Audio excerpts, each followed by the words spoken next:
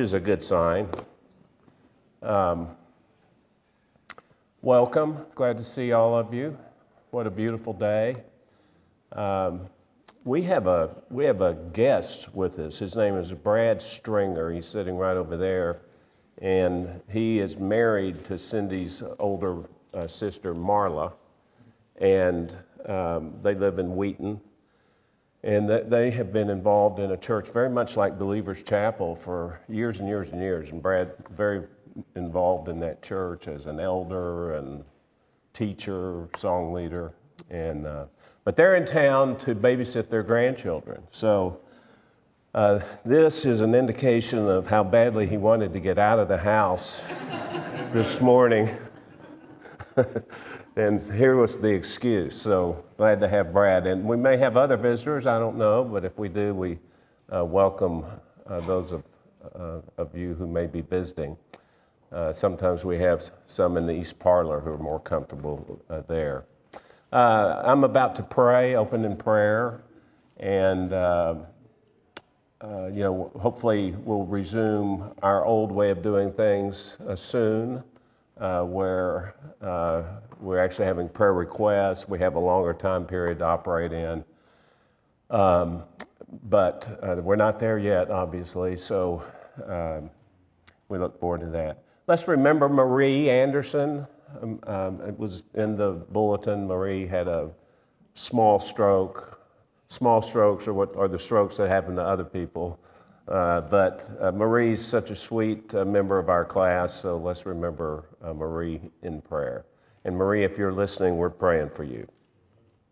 So let's bow in prayer. Father, we thank you uh, for the great privilege that we have to be in this room together, the body of Christ, and know that you're here with us, uh, to have in our hands your very word, and it's inerrant and it's all sufficient uh, for us to follow after you and to be faithful to you. And we're going to be encouraged today. Uh, by your word, to do that very thing, uh, to follow after you. And we pray that your spirit would enable us not just to comprehend these things, but to move to that next step and apply them to our lives and, and be obedient uh, to uh, these words. Uh, bless our, our church, bless the ministry of the word that will follow, and as Dan returns, and uh, bless all those who hear. May we lift up uh, songs of praise to you and hearts of praise uh, today, worshiping you. We do pray for Marie and ask for healing, and there are others uh, in our body who, who need our prayers in regard to physical um, afflictions and, and, and, illness, and we pray for them. And, and other needs too. Uh, we pray for our country. I won't turn this into a pastoral prayer, but we do pray for our country that you'd show mercy to us and, and give us good leaders. Uh, bless us in the weeks and months ahead. Pray these things now in Jesus' name. Amen. So, uh, we're in Matthew 5. I think you know that, especially if you've got a, an outline. So, turn to Matthew 5, and we're going to be reading verses 38 through 48. Like most good sermons, Jesus' Sermon on the Mount uh, contained identifiable sections, movements uh, that you can capture as you go through them. The most obvious is the section that he began with. It seems like a very long time ago that we studied it, but the first section was the Beatitudes. And today we come to the conclusion of the second major section of the sermon, in which he's been correcting some perversions and misinterpretations of the Mosaic law. And Jesus offers up, as you know, six antitheses introducing each with variations of the same formula. You have heard it was said, followed by a quotation of the commandment or its misconstrued version, and then with unusual authority pronouncing, But I say to you, presenting then the true interpretation of the law. And we've come now to the last two of the six antitheses, but for all of them, the governing precept has been what was given in the 20th verse of chapter 5. Unless your righteousness surpasses that of the scribes and the Pharisees, you will not enter the kingdom of heaven. And I know I've repeated that uh, in every lesson in this series, but that's because it is so important. This is uh, Jesus saying that governs the whole passage. And no, nowhere does that ad- admonition seem harder to fulfill than in these last two, where Jesus describes the attitude a Christian is to have toward his oppressor, toward his enemy. Uh, the, these are the frequent intruders into our lives that want to take from us what we believe is ours, or out of hatred of us, uh, seek to do us wrong. But Jesus would have his disciples understand that our lives are designed for something greater than self interest, asserting our rights and enjoying the, the company of friendly companions. Uh, we perform, in one sense, before an audience of one. Uh, he is the only one who counts, and any rights we think we may have are subsumed under that single towering reality we live our lives before God alone. And so in these final verses of chapter 5, Jesus gives illustrations of offenses that strike at what is dear to us, as we'll now see.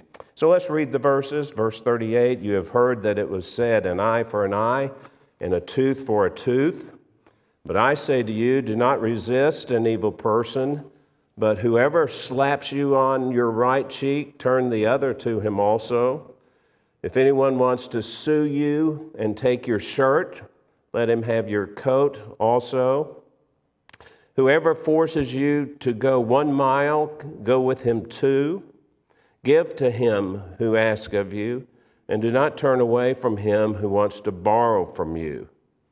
You have heard that it was said, here's a shift now to the, the sixth. You have heard that it was said, You shall love your neighbor and hate your enemy.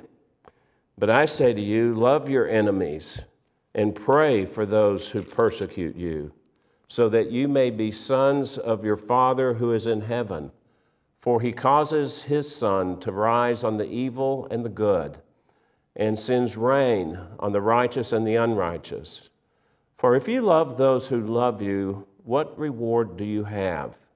Do not even the tax collectors do the same? If you greet only your brothers, what more are you doing than others? Do not even the Gentiles do the same? Therefore, you are to be perfect as your heavenly Father is perfect.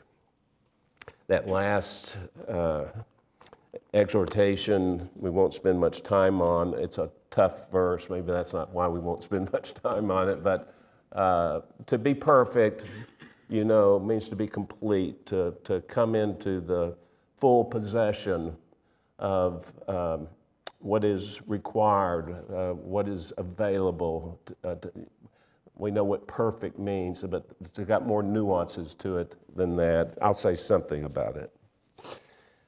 So we see for his final two arguments, the Lord takes up two common rabbinic teachings retaliation or revenge, and one's attitude toward his enemy.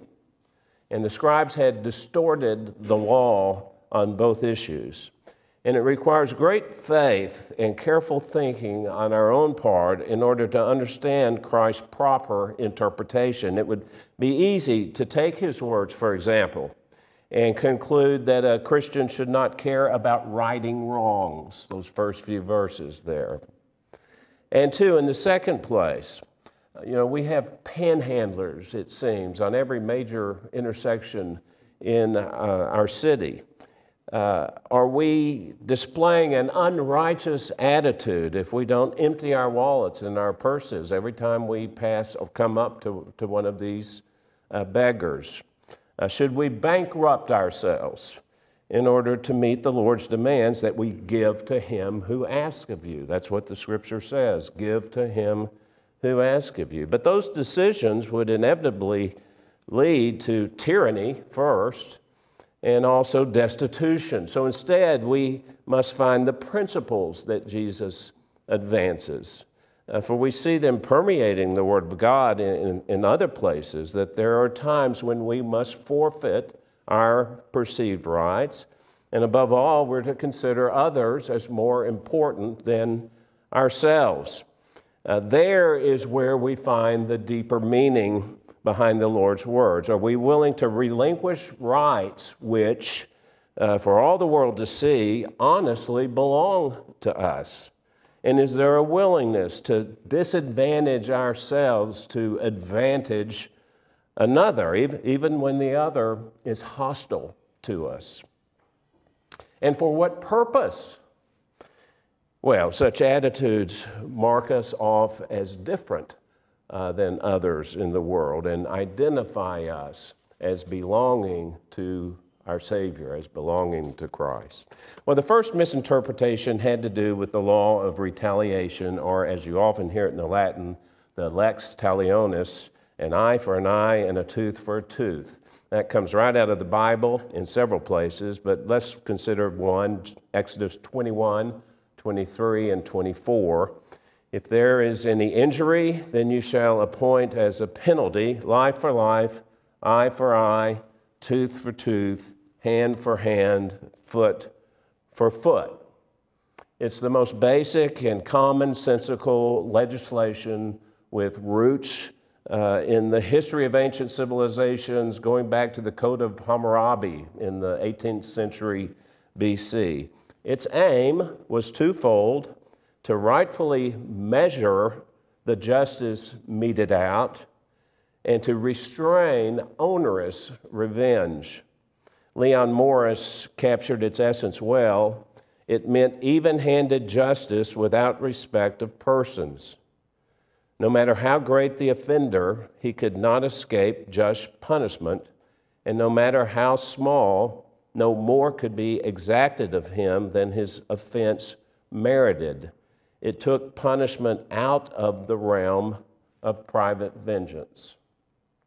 Now, technically speaking, and this is important for us to note if we're going to understand this, uh, the law was concerned with civil affairs and had its main application in the judicial realm where legal judgments were made. Of course, it had obvious moral underpinnings as well. But the error of the Pharisees was to extend it to personal relationships, uh, primarily to justify personal revenge. And Jesus' objection, which follows, dictates that in personal relationships, the response was to be covered not by proportionate justice, but by love. The ruling principle, according to Jesus, was non retaliation when one was subjected to personal wrongs. And his would prove to be the primary uh, example, as the Apostle Peter would later declare in 2 Peter 2, verse 21. Christ left us an example, Peter wrote, for you to follow in his steps, who committed no sin, nor was any deceit found in his mouth. And while being reviled, he did not revile in return. When suffering, he uttered no threats, but he kept entrusting himself to him who judges righteously. In other words, Jesus lived his life before an audience of one. So, against the Pharisees' manipulation of the law for personal retribution, Jesus admonished his disciples in verse 39 to not resist an evil person. Now, you can immediately see how, over the centuries since, Jesus' command could and would uh, be itself twisted to mean something he didn't intend, fostering a wide variety of non resistance ideologies. Tolstoy, for example, uh, and this is one of the more famous reactions in the literature, wrangled from Jesus' words the idea that there should be no police or, or armed forces or even civil magistrates.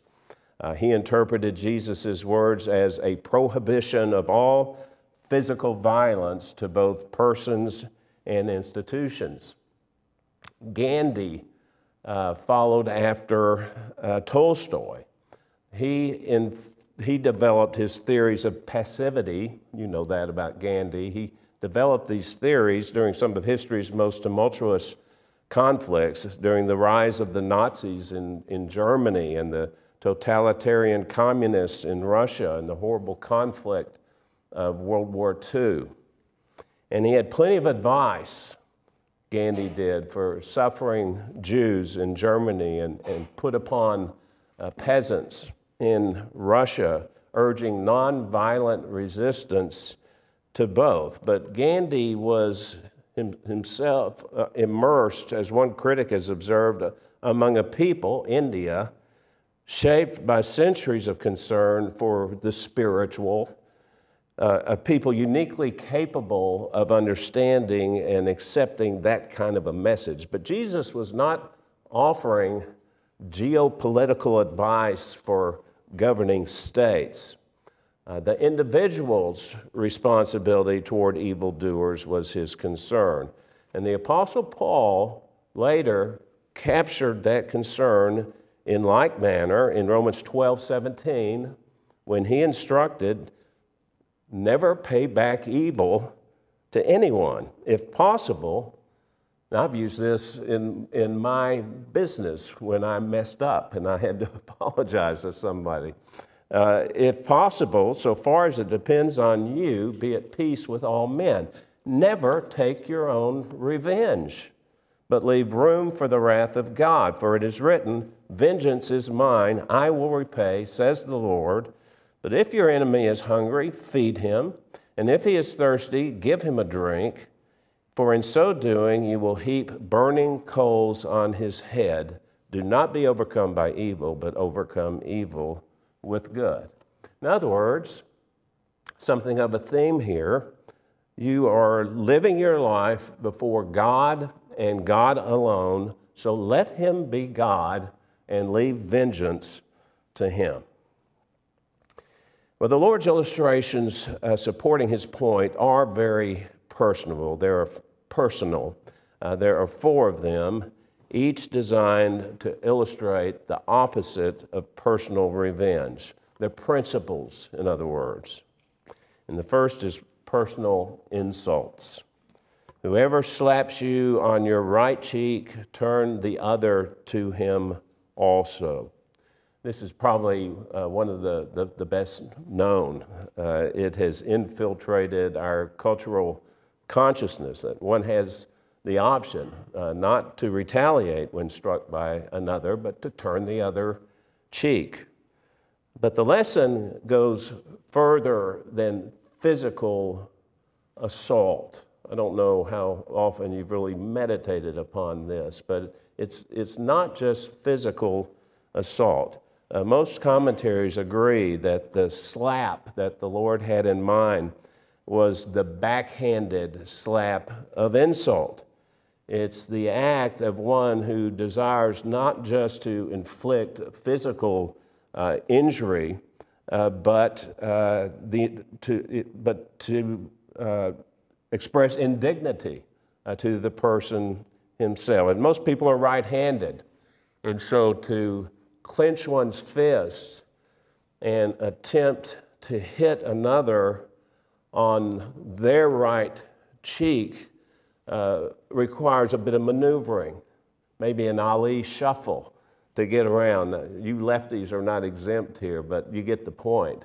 Uh, most people are right handed. If you're going to hit somebody on their right cheek, uh, so most people think uh, that this was the backhanded blow of insult that requires only that kind of dexterity to sweep one's hand backward across the other's face. I think Scarlett O'Hara laid one on Clark Gable like that.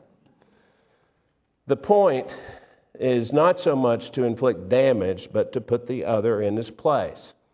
And most of us don't like being put in our place, uh, especially because we normally believe it is we who should be putting the other in his place. As I've studied this, my mind keeps going back to the Beatitude blessed are the meek. Blessed are the meek. Remember, the meek person is the one who is satisfied with God's judgment of him.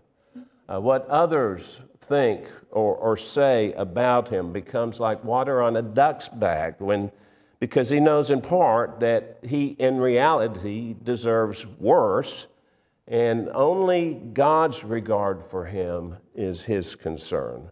And I think this was in the Lord's mind. Be willing to give up your right to retaliate when another insults you. Leave your reputation in the Lord's hands.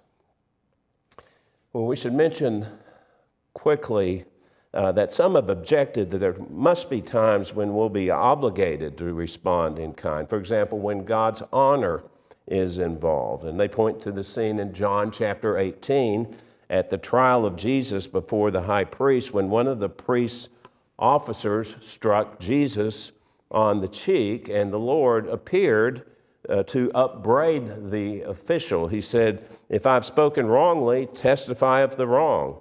But if rightly, why do you strike me? We all know that scene. But Jesus' response really clarifies the meaning here in the sermon. The situation before the high priest involved the law. And adherence to the law was something that the Lord believed in. And he was correcting the abuse of the law, not of himself. As it concerned himself, he would not have been in their presence in the first place had he not determined to turn the other cheek in the greatest, to the greatest extent and entrusting himself to his Father in a way no one ever has. That was the great example of turning the other cheek. His second illustration in verse 40 has to do with holding on to your material possessions. If anyone wants to sue you and take your shirt, let him have your coat also. So the background is the, the legal contention in which the follower of Jesus risked losing his shirt. I think many of you have some knowledge of the fashion of the day uh, from your study of the Bible. It was typical for a man uh, to wear a, a long uh, shirt um, uh, or, or, tunic over his undergarment. Uh, but if the weather was cold, like it is in Chicago, uh, he would have a, add he would add a cloak, a, a coat in order to keep warm, warm. And I know all the different translations you have translate these words differently, but that's the idea. Over the undergarments, this long shirt or tunic, over that to keep warm, a cloak or a, a coat. Uh, cult- culturally, in fact, that, that outer garment had come to be re- recognized as so important that laws were in effect uh, preventing a lender from withholding a debtor's cloak, which he may have taken as collateral, the lender, uh, with, with withholding that cloak overnight so that the probably poor man would not be left bereft of that very necessary garment for warmth. And so it's the most important garment. And Jesus' point is that his followers ought to be willing even to throw in that outer coat as well to the one who was after his shirt. He would relinquish even that which was undeniably his by law, his, his outer cloak. And what this means for us, I think obviously, is that as believers in Christ, we are to hold on to our material possessions loosely and consider them not as ours to own, but merely as gifts from the Lord of which we are stewards, uh, tasked with using them for His glory and not strictly for personal gain. You know, very easy thing to say, uh, not so easy to put into to practice. The same applies to our time, the third of the Lord's illustrations in verse 41 whoever forces you to go one mile, go with him two. Now, this one will not make a lot of sense to us unless we consider the, the political and sociological uh, milieu from which this comes. The, the Jews were living in an occupied country, and the Romans were their uh, rulers and their superiors. Any Roman soldier could legally commandeer an ordinary non Roman citizen to assist him along his way for a portion of some errand he was, he was running. And the New Testament example, you remember, was when at, at, at the crucifixion, uh, they commandeered Simon of Cyrene to carry Jesus' cross. They pressed him into service. And what Jesus was saying was that when such an inconvenient interruption comes, a disciple of his must show a willingness not just to go one mile, for example, with him, but even two miles. It may have been inconvenient, it was inconvenient, uh, but a follower of Jesus would do it cheerfully as unto the Lord and even offer to go that extra mile. I worked uh, for a, a man for many years whose really his trademark motto was there's no traffic on the extra mile. What that meant was that our company, we would do things and serve our clients and customers uh, to such an extent that uh, nobody else was out there with us. Well, here's an even greater goal to go the extra mile in order to serve the one who went so far for us. That's the challenge. Will we go the extra mile for Him? Time is a precious commodity.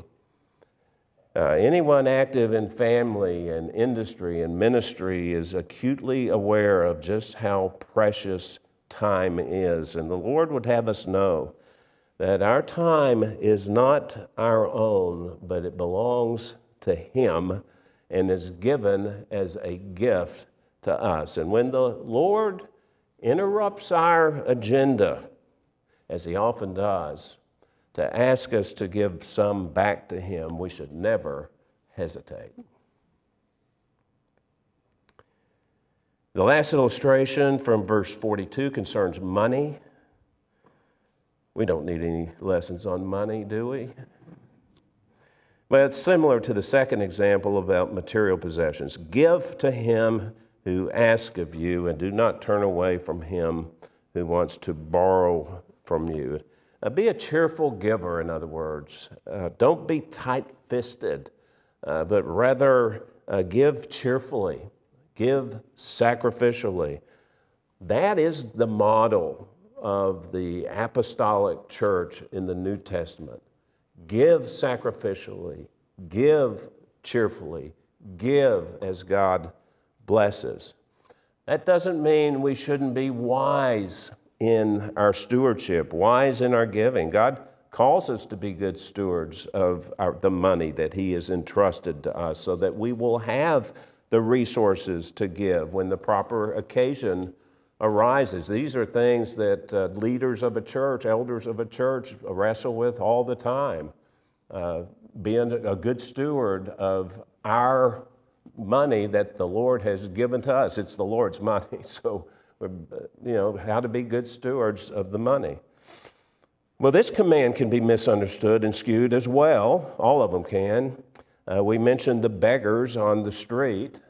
Uh, what is the wise and loving response to such as those beggars? Every person must decide in his or her own heart, but there is wisdom in knowing what the money passing through your car window is going to be used for. This is a very challenging thing, especially today, I think, living in our Western world with all the increase in standards of living that have come as a consequence of our capitalist free enterprise system and the, the freedom of innovation it provides. We're the wealthiest nation that has ever existed. I know there's poverty, uh, but there's fewer poor people. I'm not getting into politics, but we are the wealthiest nation that has ever uh, existed.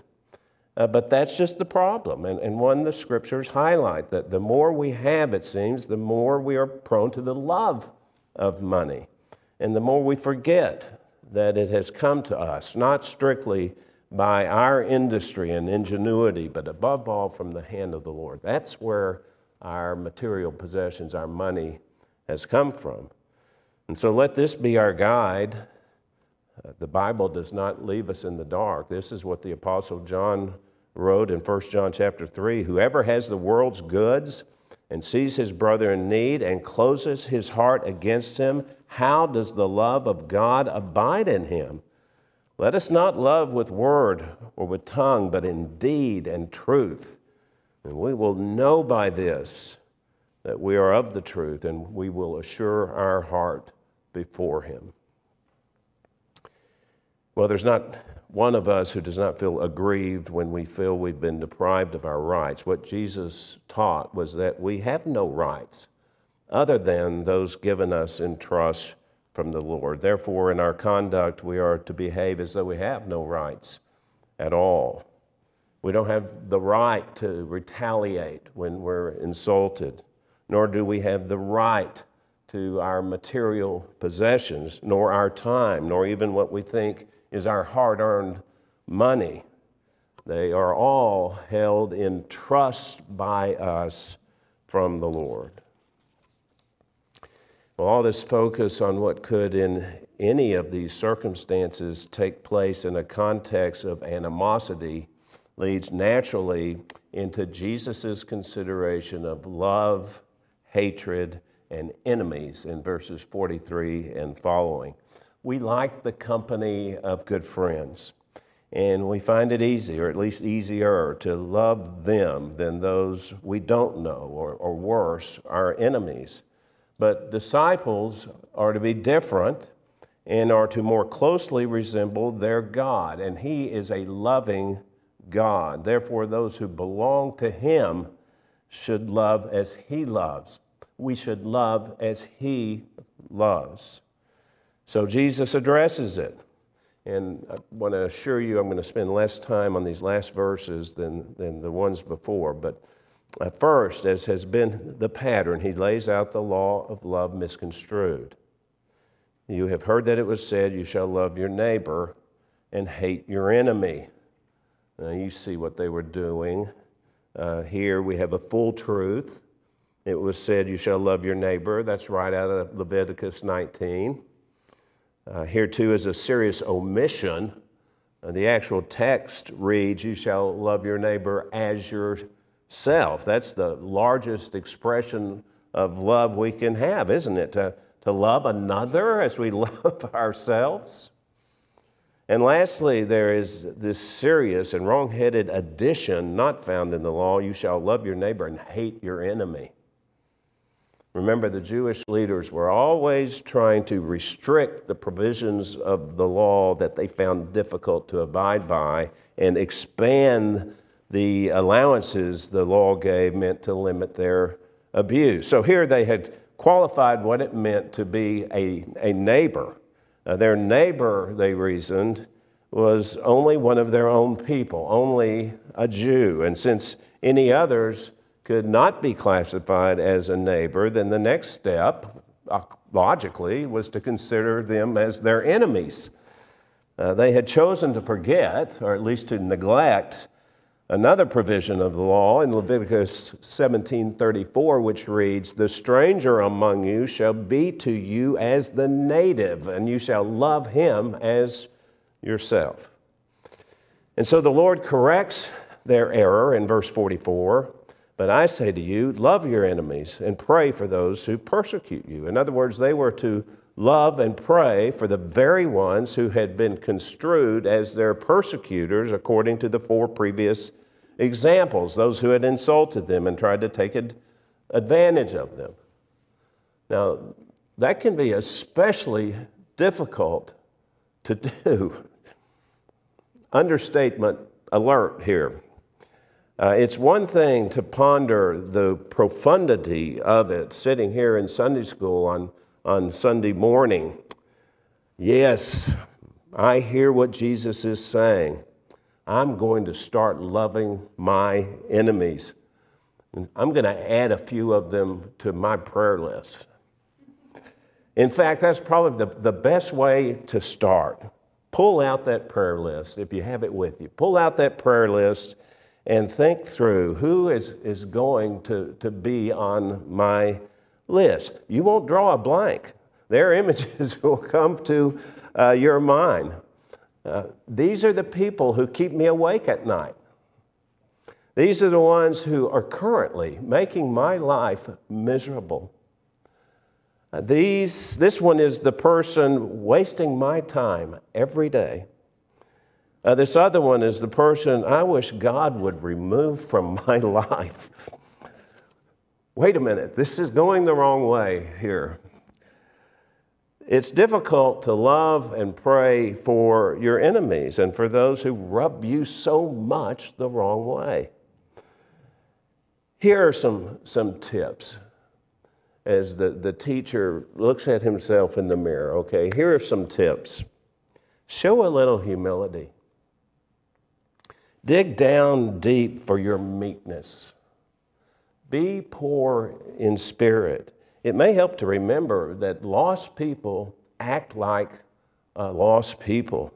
You know, the natural man does not accept the things of the Spirit of God. They're foolishness to him, and he cannot understand them. They're spiritually appraised.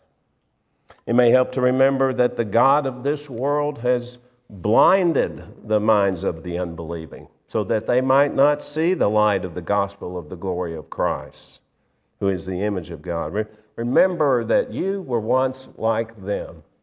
It's a good exercise every now and then to think back of some of the really stupid things that you once did. To love your enemies and pray for them is a way to show to others, if not to yourself, that you are related to your Heavenly Father who Himself loves His enemies. This is one way we can show whose sons, whose daughters we are. And that's the meaning of Jesus' words in verse 45. Look there, so that you may be sons of your Father who is in heaven. In loving our enemies, we will prove conclusively whose sons we are, because that is when we distinguish ourselves as loving as He loved. He causes His sun to rise on the evil and the good and sends rain on the just and the unjust. That's common grace. God is indiscriminate in His love. In fact, He is so indiscriminate that while you and I were yet sinners, in fact, the fact is we were enemies, He sent His Son to die for us. God loves his enemies. So, for you and I to love merely others who return the favor, that's really saying nothing. As a matter of fact, that is in reality self love because deep down we know there's something in it for us. In that, we're no better than the ones we love to criticize and look down upon, people like the despised tax collectors. And the Lord asks the question if you love only those who love you, what reward do you have? Do not even the tax collectors do the same? Do not even the tax collectors do the same? The answer is yes, they do. They do the same.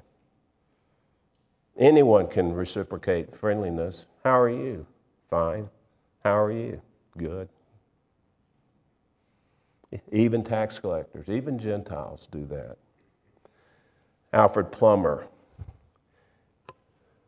pierced the truth of it when he wrote this. To return evil for good is devilish. To re- return good for good is human. To re- return good for evil is divine.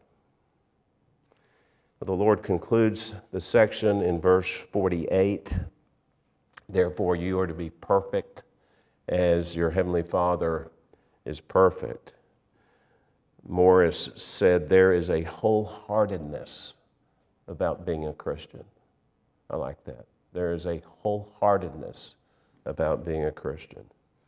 In Leviticus, God says, You be holy as I am holy. Those are challenging words. Now Jesus says, You be perfect as your heavenly Father is perfect. Was he casting a net too far?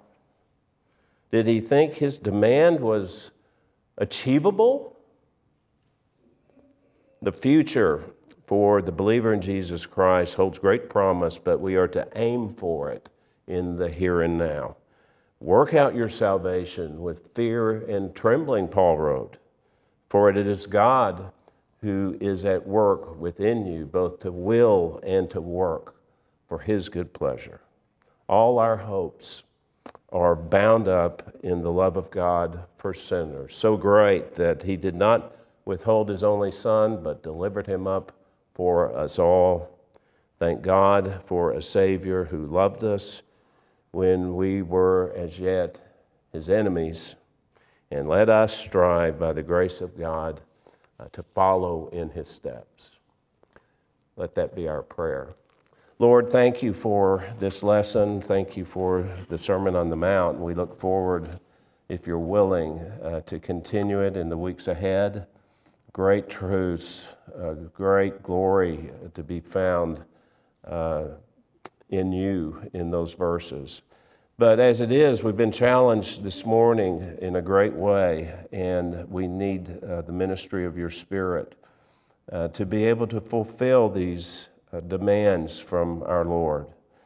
Um, Lord, maybe may you sanctify us in that way more and more so that uh, we, we are willing to relinquish our rights. We are willing to hold on to our possessions loosely, knowing that they are a stewardship from you, to look at our enemies and, and those that we really don't like very much, and to consider that you love enemies. You love enemies. You loved us when we were your enemies. And for us to exercise a, a meekness uh, and humility and to reach out and love those people. We pray in Jesus' name. Amen.